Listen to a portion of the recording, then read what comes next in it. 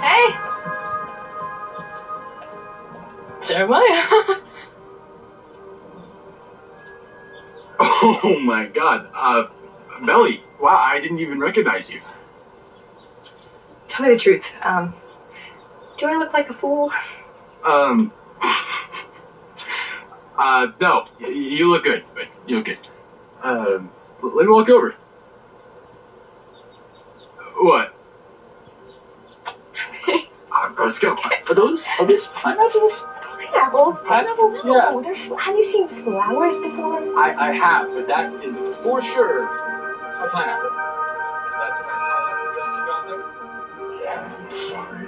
got there? That's very nice. Cookies? Oh, they're die for. Okay. I, I still never thought I'd see the day you were real fascinating.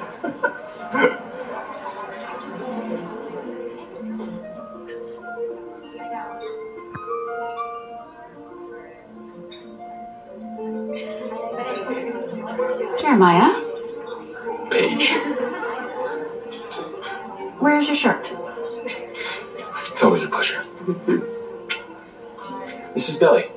I mean, uh, Isabel Conklin, the young woman my mom told you about. My future wife.